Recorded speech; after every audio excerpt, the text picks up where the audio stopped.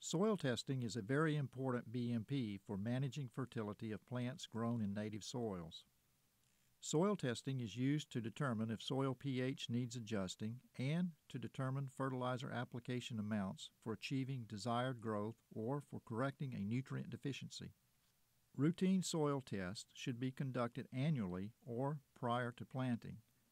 Separate samples should be obtained and analyzed for locations that are different due to soil type, fertilization history, crops grown, or crop appearance. Obtain a representative soil sample from the area where plant roots are located. For each soil sample to be analyzed, collect 20 or more subsamples. Each subsample should be obtained randomly at a depth not greater than 6 inches. Combine all subsamples in a plastic pail. Mix thoroughly and air dry.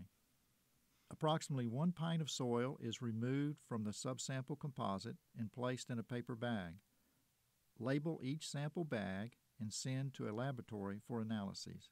Samples may be sent to the University of Florida IFAS Extension Soil Testing Laboratory in Gainesville or other laboratories that use analytical procedures appropriate for BMPs. Contact the University of Florida IFAS County Extension personnel for additional information about soil testing.